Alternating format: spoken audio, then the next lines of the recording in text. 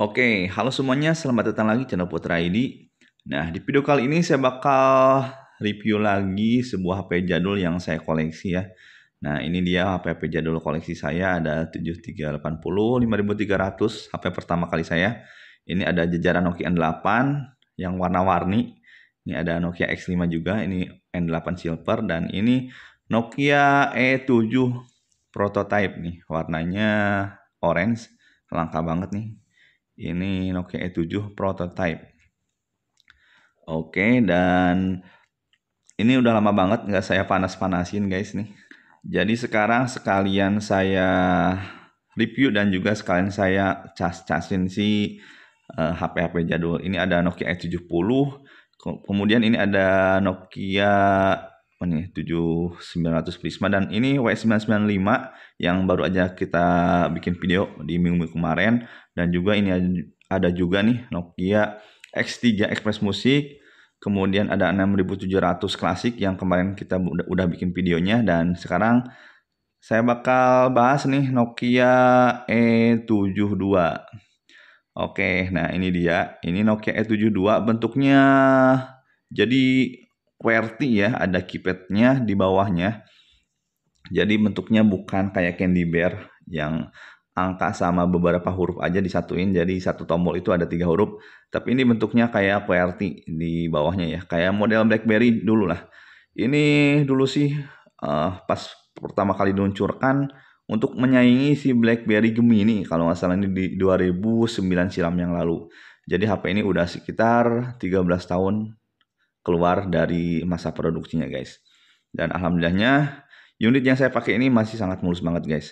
Oke dan ini ini juga nih ada beberapa Nokia Nokia N82 prototype 7610, N90, E61 dan juga di sana ada beberapa lagi sebelah sana nih. Oke, kita lanjut lagi untuk bahas si Nokia E72 ini. Jadi si Nokia E72 ini memiliki jenis layar TFT dengan 16 juta warna guys. Ya, lihat. Untuk kecerahannya sih menurut saya masih sangat oke okay banget sih ya untuk ukuran HP jadul.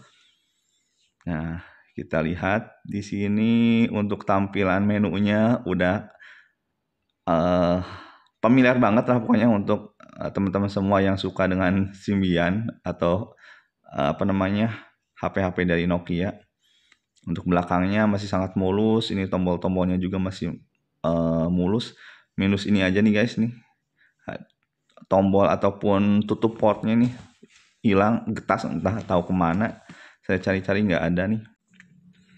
Tapi overall semuanya masih fungsional oke semua lah nggak ada minus apa pun.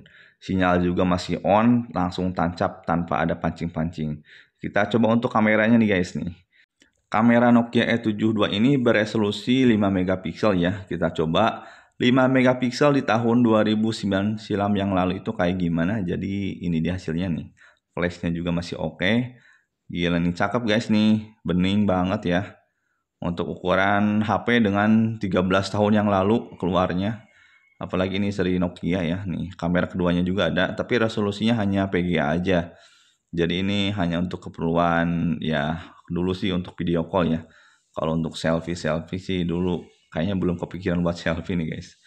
Kita lihat dulu keluar nih untuk lihat kemulusannya. Kemulusannya sih masih sekitar bisa dibilang 98 persenan lah. Untuk seukuran HP jadul yang udah lama banget, menurut saya ini sangat masih sangat mulus banget sih. Lihat nih. Warnanya warna antik banget nih, warna grey. Jadi langka banget warna kayak gini nih. Saya dulu udah pernah punya kayak gini, cuman saya uh, jual dan sekarang saya pengen punya lagi ini. Kemarin akhirnya kesampaian.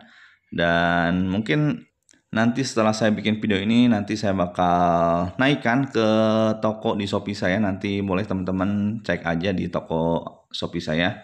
Siapa tahu ada yang berminat untuk membeli si Nokia E72 ini guys.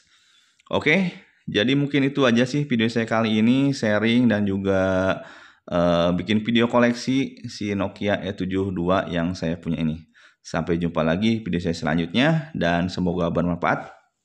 Goodbye.